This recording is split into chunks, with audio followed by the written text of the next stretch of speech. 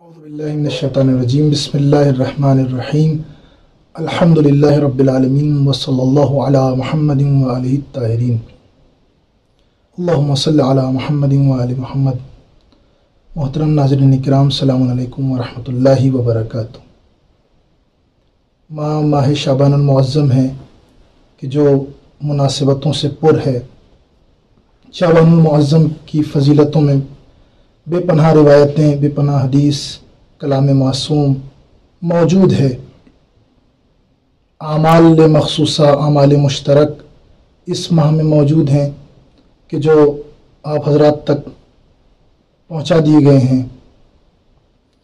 مجھے ماہ شبان المعظم کے مناسبتوں میں جس مناسبت کا ذکر کرنا ہے، اس لیے کہ جہاں شعبان المعظم میں اعمال کی بات آتی ہے، ذکر الہی کی بات آتی ہے تصویر الہی کی بات آتی ہے، وہیں پر آئمہ معصومین علیہ الصلاۃ والسلام، خصوصاً امیر المومنین حضرت علی بن ابی طالب علیہ الصلاۃ والسلام کی مناجات کی جو مناجات شعبانیہ کے نام سے مشہور ہے، اس کا تذکرہ کیا جاتا ہے۔ معمول تھا تمام آئمہ معصومین علیہ الصلاۃ والسلام کا کہ جب ماہ شعبان المعظم کے دن آیا کرتے تھے تو ہر دن تمام معصومین اپنی اپنی حیات میں، اپنے اپنے زمانے میں اس دعا کی تلاوت کیا کرتے تھے۔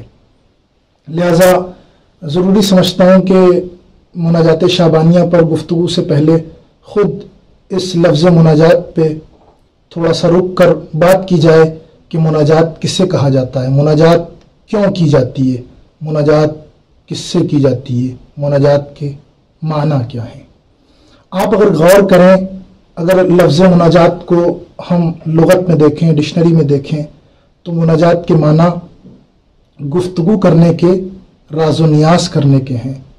یعنی اپنی بات کو بہت آہستہ سے کہنا، اپنی بات کو کسی کے کان میں کہنا، راز کی شکل میں کہنا۔ یہ لغت میں مناجات کے معنی ملتے ہیں۔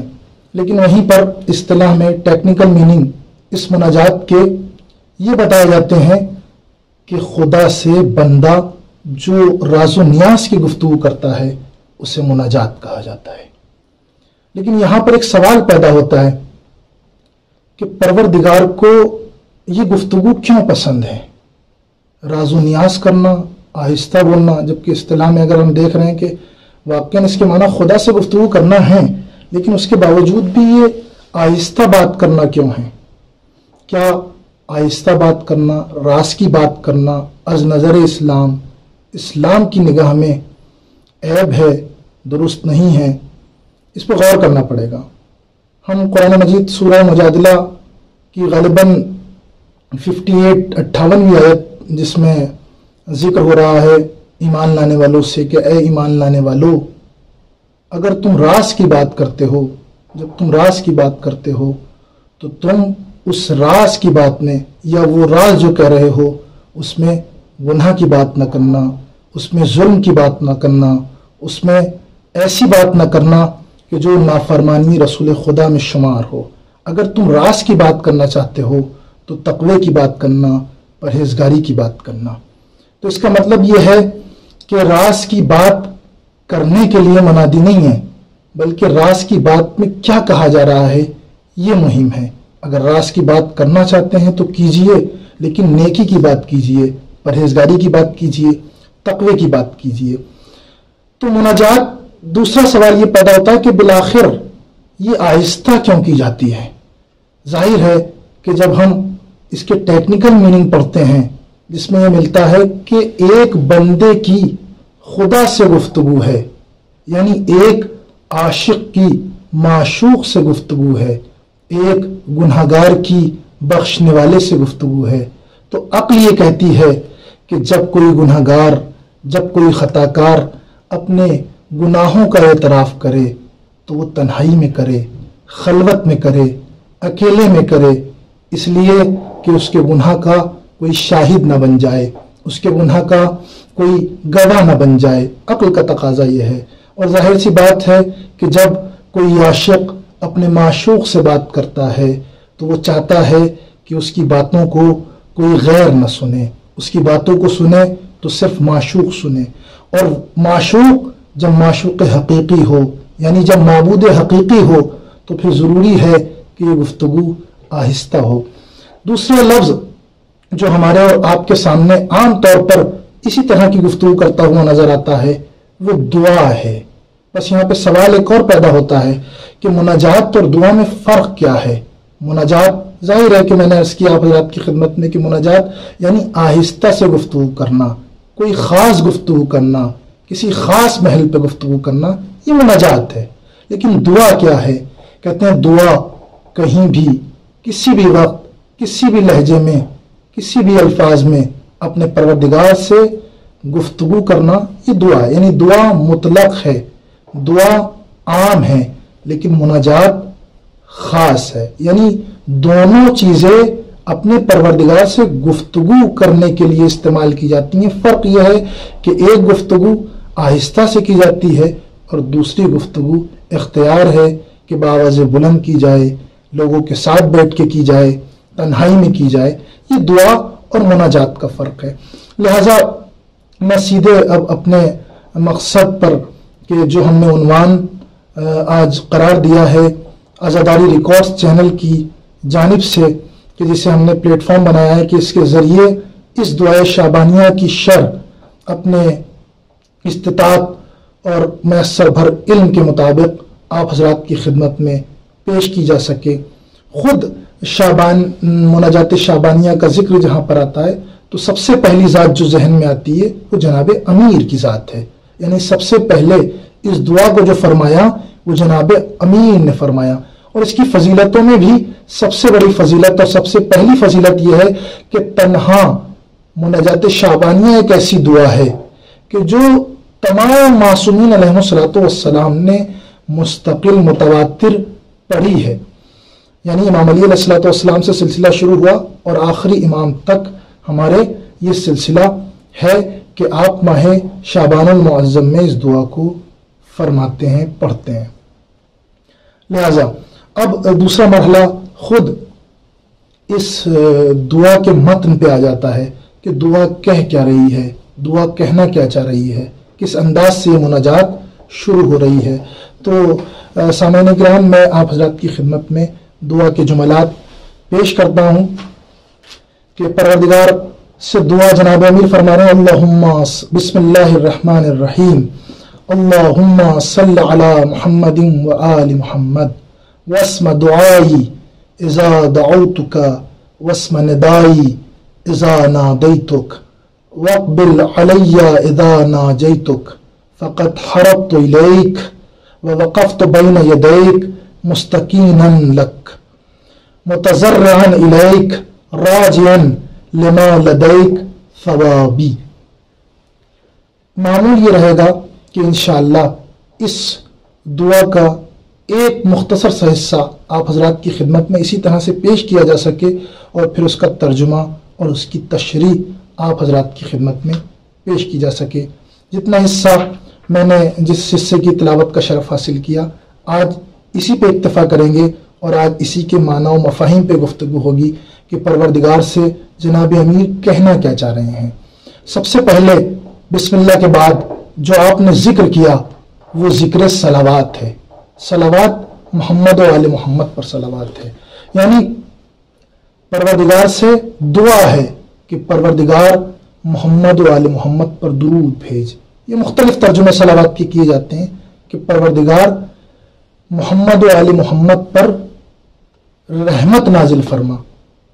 اس طرح کے ترجمے، بہرحال یہاں پہ ترجمے سے بحث نہیں ہے۔ بحث یہ ہے کہ سلاوات کا ذکر کیوں کیا؟ میں چاہتا ہوں جتنے حصے کا یہاں پر ذکر کیا ہے، پہلے اس کا ترجمہ آپ حضرات کی خدمت میں آج کر دیا جائے تاکہ آسان ہو جائے شر کرنا اس دعا کے حصے کی۔ سب سے پہلے سلاوات جو دعا کی شکل میں پھر کہا جا رہا ہے وسم دعائی از دعوتک۔ پروردگار، جب میں دعا کروں، تو تو میری دعا کو سن۔ پھر کہا جا رہا ہے وسم ندائی ازا نادیتک پروردگار، جس وقت میں تجھے پکاروں، اس وقت میری پکار کو سن، میری آواز کو سن۔ پھر کہا جا رہا ہے وقبل علیہ اذا ناجیتک اے پروردگار، کہ جب میں تیری بارگاہ میں مناجات کروں، تو تو میرے اوپر توجہ کر۔ میری آواز کو سن، میری بات کو سن۔ پھر کہا جا رہا ہے، فقط حرب تو لئی کا وقف تو بین یدیک۔ اے میرے پروردگار، میں تیزی سے تیری طرف آ رہا ہوں۔ اور پھر کہا جا رہا ہے کہ میں کھڑا ہوں تیری بارگاہ میں، کس حالت میں؟ کہ میں مستقین ہوں بے چارگی کے عالم میں ہوں بے چارہ ہوں۔ متضرعن الیک، کہ میں پریشان ہوں، پریشان حالت میں ہوں۔ اس حالت میں میں تیری بارگاہ میں کھڑا ہوں۔ راجین لما لدیک ثوابی یعنی اپنے اس ثواب کی امید سے جو تیرے یہاں ہیں۔ یعنی بے چارگی کی حالت میں، پریشان حالت میں کھڑا ہوں اپنی ثواب کی امید سے کہ جو تیرے یہاں ہیں۔ سامعین کرام، یہ مناجات شابانیہ کا مختصر سا حصہ بڑا معنی خیز ہے، معرفت سے پر ہے۔ مضامین سے لبریز ہے۔ آپ غور کیجیے گا کہ اس مناجات کا حسن کیا ہے۔ مناجات سب سے پہلے جو شروع ہوئی تو سلاوات کے ذریعے سے شروع ہوئی۔ تو یہاں پہ سلاوات کے بارے میں سوال پیدا ہوتا ہے کہ بالآخر یہ مناجات سلاوات سے کیوں شروع ہو رہی ہے؟ آپ غور کیجیے کہ سلاوات کا ذکر ابتدائی مناجات میں رکھ کر شاید دو اہم چیزوں کی طرف اشارہ کیا جا رہا ہے کہ جس میں سب سے پہلی چیز یہ ہے کہ شرط استجابت دعا یہ ہے کہ انسان وسیلے کو تلاش کرے، بغیر وسیلے کے کوئی بھی دعا قابل قبول نہیں ہے، کوئی بھی دعا باب استجابت تک نہیں جاتی۔ کس پہ سلابات بھیجی گئی؟ ظاہر سی بات ہے انہیں شخصیات پہ سلابات ہے کہ جن کے وسیلے کو دعاؤں میں اہم مانا گیا کہ اگر دعاؤں میں ان کا قرآن میں سریم حکم ہے وقت وسیلہ کہ وسیلے کو تلاش کرو، ڈھونڈو۔ اور پھر معصوم علیہ السلاۃ والسلام نے آ کر مناجات کی ابتدا میں اس مرحلے کو رکھ دیا کہ کسی اور کے وسیلے کی تلاش کرنے کی ضرورت نہیں ہے، بلکہ جن کے وسیلے سے دعائیں مستجاب ہوتی ہیں، وہ ذکر محمد و علیہ محمد علیہ السلاۃ والسلام ہے۔ دوسری طرف ہم سریحم دیکھتے ہیں کہ خود معصومین علیہ السلاۃ والسلام کی متعدد احادیث، اقوال زرین مل جائیں گے کہ جو یہ کہہ رہے ہیں کہ دعا بغیر ذکر کے قابل قبول نہیں ہوتی ہے، بغیر سلاوات کے۔ چھٹے امام امام جعفر صادق علیہ السلاۃ والسلام فرما رہے ہیں کہ انسان جس وقت دعا کرے، جب وہ چاہے کہ اپنے پروردگار سے کچھ چاہے، تو وہ دعا سے پہلے محمد و آل محمد پر سلاوات بھیجے۔ اور جب وہ دعا تمام کر دے، دعا تمام کرنے کے فوراً بعد سلاوات بھیجے۔ تو خداوند عالم اس دعا کو ضرور مستجاب کرے گا۔ کیوں؟ وجہ کیا بتائی؟ کیا خوبصورت علت آپ نے فرمائی، کہا کہ یہ جو دعا، یہ سلاوات جو ایک دعا کی شکل میں ہے۔ اور پہلے بھی سلاوات بھیجی گئی دعا سے، بعد میں بھی سلاوات پڑھی گئی محمد علی محمد پر۔ تو یہ ایسی دعا ہے کہ جس کو کبھی خدا رد نہیں کرتا ہے۔ بھی سلاوات ایک ایسی دعا ہے کہ جسے خدا اند عالم کبھی رد نہیں کرتا۔ وہ کریم خدا کہ جو پہلی دعا کو بھی قبول کر لے، آخری دعا کو بھی قبول کر لے، یہ کیسے ممکن ہے کہ جو دعا، ان دونوں دعاؤں کے درمیان یعنی دونوں سلاواتوں کے درمیان پڑھی گئی ہو، کی گئی ہو، وہ قبول نہ ہو۔ یہ عقل کا تقاضا بھی ہے کہ ایک کریم خدا کہ جو دعاؤں کو مستجاب کر رہا ہے، وہ اس کے درمیان والی دعا کو بھی ضرور قبول کرے گا۔ تو اہم حصہ ہے کہ ہم کوئی یعنی پیغام ہے خود اس مناجات میں، ہم کوئی بھی مناجات کریں، کوئی بھی گفتگو اپنے پروردگار سے، کوئی بھی خواہش کریں اور چاہیں کہ وہ خواہش پوری ہو جائے۔ وہ مستجاب ہو جائے دعا، تو زیادہ سے زیادہ محمد و علی محمد پر سلوات پڑھیں۔ دوسرا مرحلہ، جو پیغام اور جو اہم چیز اس مناجات کے ذریعے مل رہی ہے، کیا کہہ رہے ہیں امام؟ امام فرما رہے ہیں وسم دعائی، اے میرے پروردگار، میری دعا کو سن لے۔ کس وقت کہ جب میں دعا کروں تو میری دعا کو سن لے۔ اور دوسرا جملہ کیا فرمایا آپ نے؟ کہ جب میں تجھے پکاروں تو میری اس پکار کو سن لے۔ اب سوال یہاں پہ پیدا ہوتا ہے، عام ہمارے مومنین کے ذہن میں بھی یہاں پہ سوال پیدا ہو جاتا ہے کہ پروردگار کا تو نام ہی سمی ہے، سننے والا ہے۔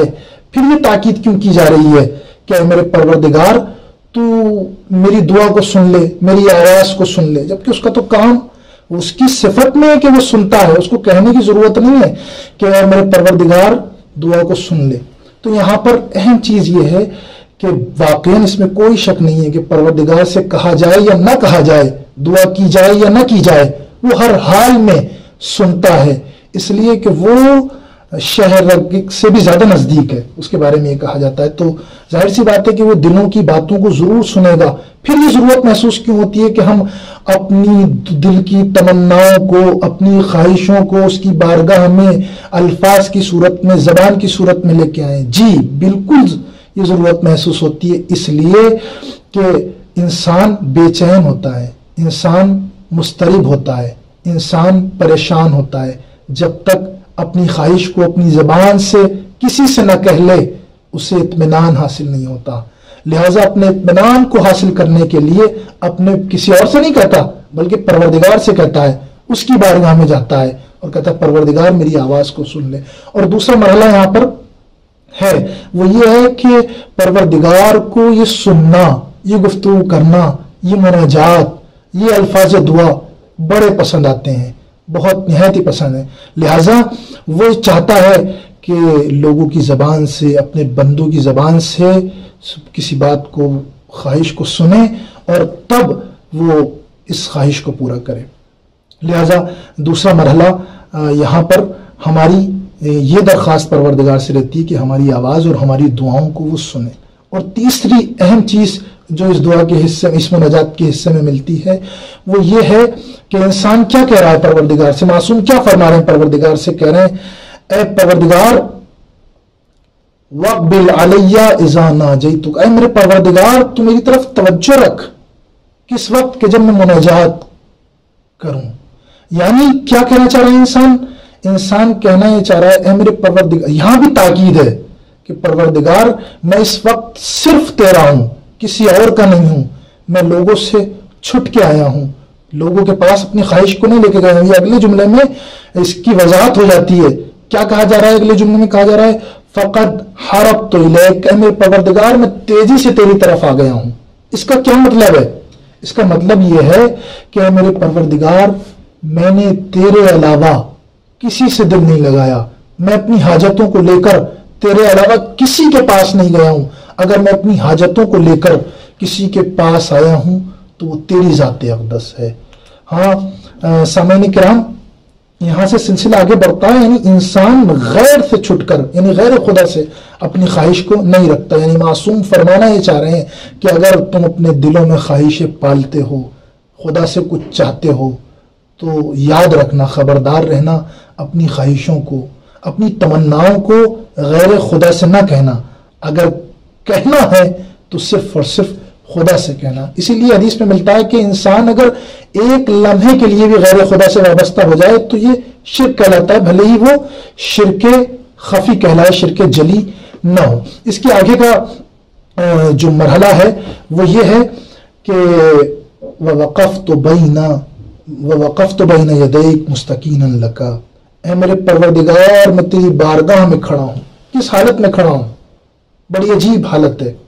واقع محسوس کرے معصوم کے جملے ہیں کہ میرے پروردگار، میں تیری بارگاہ میں کھڑا ہوں، اس حالت میں کہ مستقیم ہوں بے چارگی کی حالت ہے، پریشان ہوں۔ یعنی سلیقہ دعا سکھا رہے ہیں معصوم۔ گفتگو کرنا کا طریقہ سکھا رہے ہیں کہ پروردگار سے کیسی گفتگو کی جائے۔ یعنی اگر پروردگار کی شان بابرکت میں، اس کی ذات اقدس میں ہم نے اظہار آجزی کیا، تو یہ سب سے بڑی بندگی ہے۔ پروردگار، میں تیری بارگاہ میں بے چارگی کی حالت میں کھڑا ہوں، پریشان کھڑا ہوں۔ یعنی میں کسی اور کے پاس اس حالت میں نہیں گیا۔ پھر فرمایا متضر الیک، اور میں جس حالت میں کھڑا ہوں، وہ گریا ازاری کی حالت ہے، وہ نالا ازاری کی حالت ہے۔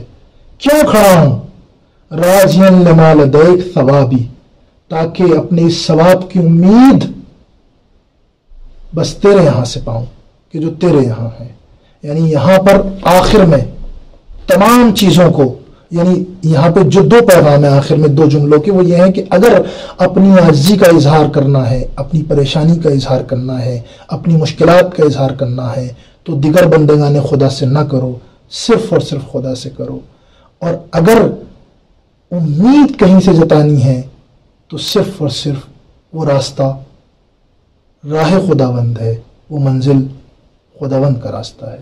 السلام علیکم ورحمۃ اللہ وبرکاتہ۔